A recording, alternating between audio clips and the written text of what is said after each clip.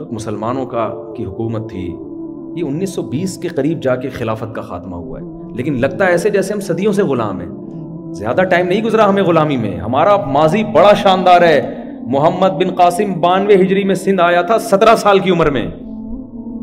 सत्रह साल के लौंडे लपाड़े होते हैं आजकल। आप देख लो जरा इन पबजी खेल रहे होंगे।